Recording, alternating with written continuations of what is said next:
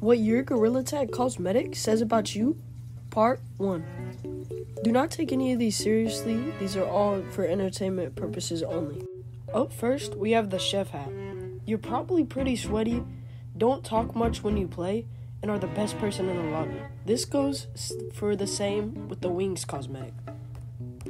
If you wear the sun hat, you probably play in beach a lot. You're the average Gorilla Tag kid, but you're not annoying. The party hat. No comment. Just no comment. The cowboy hat. You're not the best in the game, but you're not the worst. And overall, you're probably pretty chill. The banana hat. The only reason you would have this cosmetic is if you were impersonating. Stop impersonating! Any of the food cosmetics that you can eat.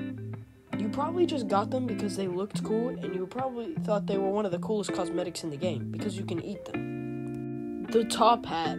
You're you're toxic. You're just toxic. Any of the umbrella cosmetics. I know you just hit people with them when you're mad.